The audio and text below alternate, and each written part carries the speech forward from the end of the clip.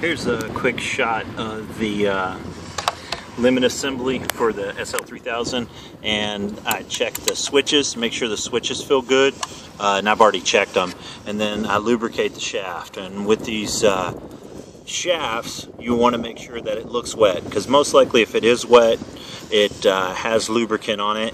And then while the operator is turned off you know you could check the uh, the stability of the bearing and the collar for the shaft and check the stability for the bearing on the outside. But doesn't really get any better than that. This operator is uh, uh, it looks like 2012 is when this uh, operator was made. So that's not bad. It's got four years four four and some and some change on there. And one of the ways the main way to keep this thing clean and keep that lubricant from grabbing any extra debris is to make sure that this uh, housing is on there.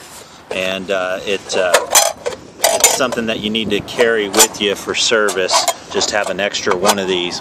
As you can see I could barely put it on.